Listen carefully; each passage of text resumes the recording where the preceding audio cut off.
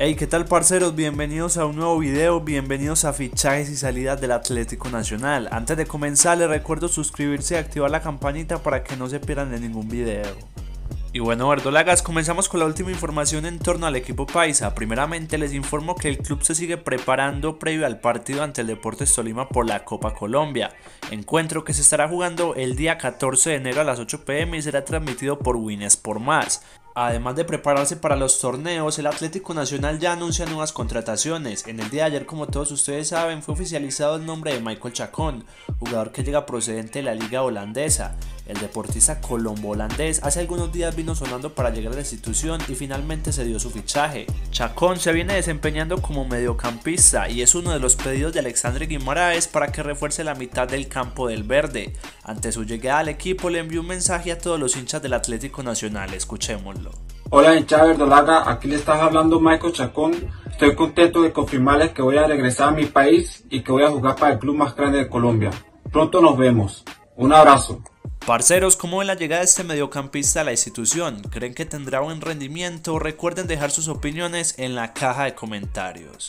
Y avanzando en el tema de las noticias, ante la confirmación de Jonathan Alves como nuevo refuerzo y la de Michael Chacón, se esperan que ambos jugadores estén a mitad de semana aquí en la ciudad de Medellín para presentar los exámenes médicos. Y en relación con el delantero uruguayo, varios medios de comunicación en el día de ayer informaron que este jugador tendría problemas para unirse a la institución. Pero dicha información fue aclarada por parte del periodista de Goal Juan David Londoño, quien afirmó que hay tranquilidad en el Atlético Nacional sobre la llegada de Jonathan Alves.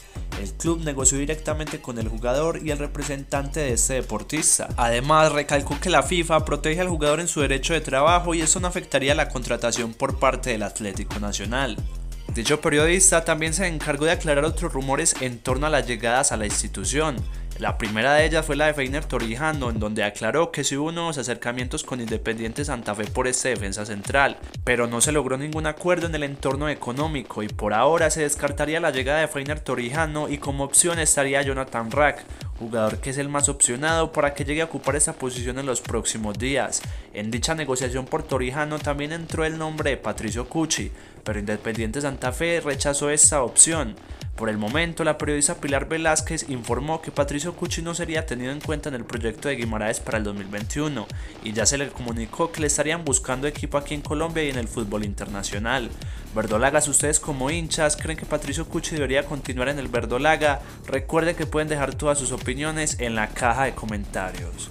Y finalmente se ha confirmado que los jugadores David Pérez, Jair Mena y Ewil Murillo irán a préstamo al Valledupar para esta temporada del 2021. Los jugadores se irán prestados por un año al equipo de la B para así tomar más nivel y posiblemente ser tenidos en cuenta en un futuro en el verde. Y bueno, verdolagas, eso fue todo por el momento. Les recuerdo suscribirse y activar la campanita para que no se pierdan ningún video. Antes de irme estaré saludando a los suscriptores que comentaron las últimas publicaciones.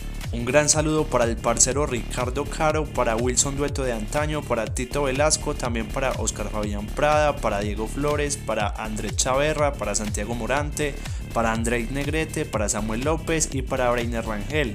Y sin nada más que decir, nos vemos en una próxima ocasión y todo bien, parceros.